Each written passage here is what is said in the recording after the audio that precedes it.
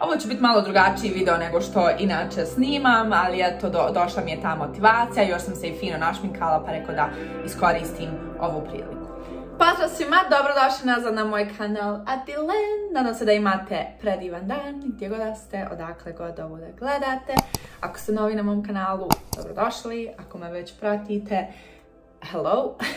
ja sam trenutno u dijelu stana koji zovem kao svoj mini office. Odavde radim tokom dana, ali trenutno sam se šminkala. Spremala sam se za izlazak pošto je u Pittsburghu petak, izlazim s društvom, naravno. Ali dok sam se šminkala, iz nekog razloga sam imala jako spiritualnu konverzaciju sa sobom u svojoj glavi, tako da e, sam odlučila da zgravim kameru i da snimim sve ovo o čemu sam razmišljala. Više želim ovo da snimim i da podijelim sa sama sa sobom, da nekad nakon e, par godina kada budem gledala ova sva stara videa na kanalu mogu da pogledam ovaj video i da vidim koliko sam napredovala, šta sam sve novo naučila. I također želim da se ovim video obratim svim mladim ljudima koji možda tek trebaju da se preseli u inostranstvo ili razmišljaju o tome. Želim da im ovaj video bude kao neka e, motivacija ili kao neka podrška to s moje strane da, da se opuste u to iskustvo i da vjeruju u sebe. Razmišljala sam o nekim stvarima koje sam naučila kroz čitavo ovo svoje iskustvo života u Americi. Ako znate moju priču, e, ja sebe smatram da nisam imala neku, ajde da kažemo, tipično iskustvo i tipičan životni put. Dosta toga su u mom životu i poredalo nekom višom silom, ajde da kažemo, dosta sam u nekim e, stvarima imala i sreće, u nekim stvarima se dosta i moj trud isplatio, e, što nije bilo zagarantovano, e, tako da sam imala priliku da sa svojih 25 godina dosta toga i naučim i vidim i iskusim. U ovom videu želim s vama da podijelim neke glavne stvari i lekcije koje sam naučila kroz čitavo ovo svoje iskustvo, života u inostranstvu, života ovdje u Americi, sve neke stvari kroz koje sam morala da prođem, iskustva koja sam imala i izazove kroz koje sam prošla i želim s vama da, da, da podijelim. Vjerovatno ste možda neko ko živi u inostranstvu koji će moći da se složi sa mnom. Prva lekcija koja me je čitavo ovo iskustvo života u Americi naučilo, a to ja mislim i moja najdraža stvar koju sam saznala i spoznala o sebi, a to je da sam sposobna za mnogo toga, e, da trebam e, da imam mnogo više samopouzdanja nego što imam i da sam uspjela i odradila i postigla neke stvari koje kao mala sam o njima mogla samo da sanjam. O nekima iskreno nisam ni sanjala, nisam ni znala da su opcija niti mogućnost u mom životu. Ali sam sve te neke stvari postigla, u svemu sam se snašla gdje u kakvoj god situaciji da sam se e, našla, jako mlada, sama ovdje kroz čitavo ovo iskustvo e, i, i, mislim da mi je to najdraža lekcija iz svega ovoga, to je da gdje god da me bace, gdje god da, da me moj život odvede u, u budućnosti, šta god da se desi, ja imam tu vjeru sama u sebe da ću se ja snaći, da ću ja to skontati, da ću naći rješenje, da ću izvući najbolje iz čitave te situacije jer sam već jednom to i odradila i to jako mlada. E, kroz sve te godine nisam imala e, nivo svijesti, e, niti sam znala sve stvari koje znam sada, a opet sam uspjela. I ako ste neko ko dolazi u inostranstvo, vjerovatno ćete sami sebe iznenaditi e, za koliko stvari ste sposobni, koliko toga možete i da trebate da date sebi malo više kredita da, da možete vi da odradite te stvari. Samo malo više vjerujte u sebe. Sljedeća stvar koja me je mučila kroz čitavo moje djetinstvo, jer sam jednostavno ja bila takvo dijete, a s time mi Amerika mnogo pomogla, je to da sam mnogo razmišljala, mnogo sam bila u svojoj glavi, u svojim mislima i nekako sam uvijek razmišljala da ljudi oko mene gledaju mene, na primjer kad odim u teretanu da neću nešto pogrešno odraditi. E, na faksu sam imala situacija, odim u učionicu, nakon 30 minuta skontam da sam u pogrešnoj učionici, da uopšte nije to čas kojeg imam na rasporedu. Znači imala sam mnogo situacija u kojima sam se baš bukvalno osramotila, ne znam kako to drugačije da kažem, ali nekako odrastajući uvijek sam imala tu neku aksioznost, uvijek me to mučilo, uvijek sam bila puno u svojoj glavi, ali s vremenom, kako vas to ovo iskustvo ovdje nauči, je da e, jednostavno vas vremenom e, prestane prestane vam to biti toliko važno, prestane vas, ajde da kažem, boliti briga. Jednostavno se opustite, više nemate vremena da o tome razmišljate i e, mislim da je najbolji lijek za tu neku anksioznost i tako ako ste stalno u svojoj glavi i razmišljate o drugim ljudima je iskreno da se samo dovoljno e, puta osramotite. ovaj moj YouTube kanal je iskreno ona cherry on the top, jer e, prije par godina nema šanse da bi uopšte razmišljala o tome da upalim kameru, da postavim ovaj video na, na YouTube, da ga čitav svijet gleda, da može bilo ko komentarisati ili šta ali već, nego jednostavno s vremenom dođete do te razine svijesti da vas više nije briga i da jednostavno radite stvari koje vas čini sretne, a mene je u ovom periodu mog života htjela sam da otvorim svoj YouTube kanal, da krenem s tim i, i mnogo mi je pomagla sama činjenica da snimam u javnosti bilo gdje među drugim ljudima, da izadim telefon, da snimam, da pričam napolju sama sa sobom, ne gledam u kameru. Te prije stvari bi mene, koliko god banalno zvučale, te stvari bi mene prije uh, budile veliku anksioznost u meni, ali evo sada s vremenom uh, uopšte me više nije briga, snimam stalno videa za vas, kao što i vidite, s različitih mjesta, tako da mi je to super pomoglo. Sljedeća stvar koju sam naučila ovdje u Americi mala i jako sam zahvalna da sam ovu ovako već mlada naučila, ajde da kažemo, e, a to je da novac vas stvarno ne čini sretnim. Znam da se mnogo ljudi neće s ovim složiti, da neće biti jasno, ali da vam objasnim šta mislim. Ja, naravno, daleko od toga da sam bogata, nisam ni blizu, ali kako nisam ni bogata, u isto vrijeme živim jako jednostavan stil života. Vidjeli ste to po mojim videima, ja se obradujem torbici od 10 dolara na sniženju. I kada sam završila faks, e, naravno moj glavni fokus, nisam imala novca, nisam radila, nisam imala primanja, logično. Moj prvi fokus je bio da zaradim što više novca, da priuštim sebi tu sigurnost, da ne moram razmišljam o računima, o da li mogu sebi da priuštim tu majicu ili ne, o tako tim nekim uh, osnovnim stvarima, ali mislim da će se dosta ljudi sa mnom složiti koji, su možda prošli kroz ovo, a to je da kada dođete do određenog levela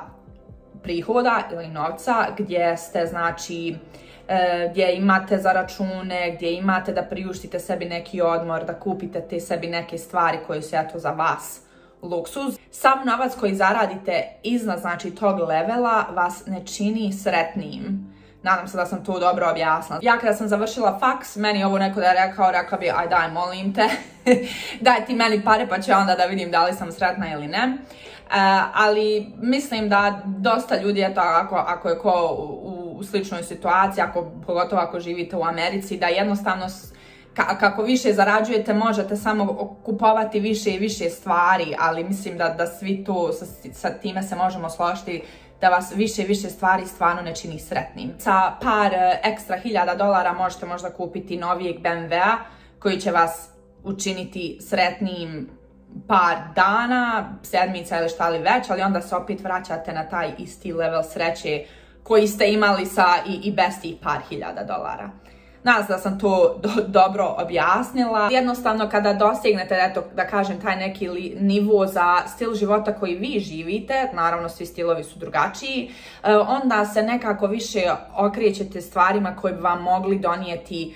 više sreće, a to su veze s drugim ljudima, neki hobi, e, neka vaša zanimanja, da li ste sretni s time što radite, neki planovi investicije za budućnost, onda vam te stvari donose sreću. Sljedeća stvar koja je meni iskreno trebalo dosta vremena da naučim i da shvatim je to da ne postoji samo jedan ispravan i pravi način da se živi život, da se razmišlja o nekim stvarima. Iskreno shvatila sam da koliko god je ljudi i kultura i država na ovom svijetu, toliko je nekih pravih, ispravnih načina da se živi život i da se o nekim stvarima razmišlja. Na šta mislim kada sam tek došla u Ameriku, na primjer tokom faksa, Amerikanci bi rekli nešto ili bi na neki određeni način nešto uradili, ja bi rekla to ne treba tako, to se ne radi tako jer ja sam odrasla i rođena na Balkanu, ja sam odgojena po našim balkanskim nekim tradicijama i pravilima i načinima razmišljanja. I kada sam došla ovdje i susretala se sa različitim uh, ljudima i kulturama, u, u meni je to budilo, nije to ono na što sam ja navikla, ne radimo mi to tako, trebaju svi da rade kao što sam ja navikla, kako sam ja odrasla. Nego jednostavno s vremenom shvatite da su ljudi različiti, da, smo, da smo svi odrasli s različitim uvjerenjima, pod različitim kulturama, s različitim iskustvima koja naravno utiču na to kako mi vidimo ovaj svijet i razmišljamo o svemu. Tako da jednostavno s vremenom prihvatite tu činjenicu da svako ima pravo da živi život na svoj način kako oni to žele, kako oni misle da je najbolje i to E, vi nemate čak ni pravo da nekome nešto govorite što se toga tiče, ali u istu ruku niko drugi nema pravo da kaže vama kako bi vi trebali da živite svoj život, da razmišljate o određenim stvarima. I to kada saznate i shvatite sami za sebe, to je toliko oslobađajuće jer onda jednostavno kad god vam neko nešto drugi kaže koji se možda ne slaže s nečim što vi radite, vi to jednostavno možete samo da prihvatite kao njihovo mišljenje, njihovo viđenje sa, e, iz njihove perspektive, ali vi znate da je to ipak samo njihovo mišljenje, da je to sasvim ok,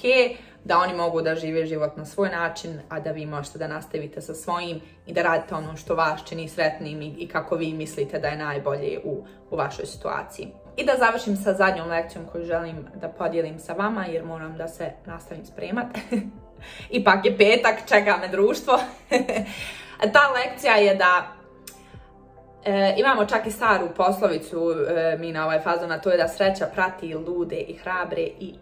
to je stvarno istina. Imala sam mnogo prilika kroz čitavo ovo svoje iskustvo gdje sam se uvjerila baš u, u tu našu poslovicu da e, kada se odlučite da jednostavno želite bolje od života, želite da sam stvorite svoj put, bukvalno kao da se čitav svemir, univerzum, šta god želite, svijet, kao da se sve posloži za vas da bi vi u tom, toj, toj svojoj namjeri uspjeli. Imala sam bezbroj znači i situacija i svega gdje sam jednostavno bila na pravom mjestu u pravo vrijeme, gdje sam upoznala e, pravu osobu koja mi je baš trebala nakon godinu, dvije, pet, koja mi je neizmjerno pomogla, gdje sam bila na pravom mjestu da čujem tu neku informaciju koja mi je totalno promijenila čitav smjer života u kojem sam nastavila da idem. To je jednostavno, ako ste dobra osoba i e, ne radite ništa na uštrb drugih ljudi, da nekome drugome naštetite ili šta već, nego jednostavno želite da priuštite sebi bolji život i svojima bolji život jer vjerujete da je to moguće i želite da iskoristite najbolje što život pruža. Sve će se udružiti da ide u vašu korist, da vama pomogne da, da ostvarite te neke ciljeve i snove koje imate. Iskreno nemam pojma da li ovaj video imao smisla ili ne, e, inače ne snimam ovako e, spiritualna motivacijska videa. Snimamo američkim gradovima i američkoj kulturi ovdje. Ali i osobu koju vidite sada na vašim ekranima preko YouTube kanala, ja sam postala osoba koja jesam zbog svih iskustava koje sam imala i na Balkanu, ali ovdje i u Americi. Dosta me i ova kultura i sva iskustva ovdje su me oblikovala ko sam ja danas, tako da eto želim i to da podijelim s vama kad već dijelim sve drugo. Eto, mislim da bi bilo vrijeme da ja skratim ovaj svoj e, motivacijski i jako spiritualni video za danas. Obećavam sljedeći video će biti malo e, više o Americi i e, životu ovdje, ali jednostavno osjetila sam taj neki poriv da snimim ovaj video na ovu temu jer sam razmišljala dosta o ovome. Ali ako ovaj video pomogne jednoj osobi, uljepša im dan, onda je čitav ovaj moj video ispunio svoju svrhu. Eto, ja idem sada da nastavim da se spremam, idem da se presvučem, idem da uživam u ovom e, predivnom e, vikendu koji je ispred mene, a mi se vidimo u mom narednom videu. Ćao ljudi!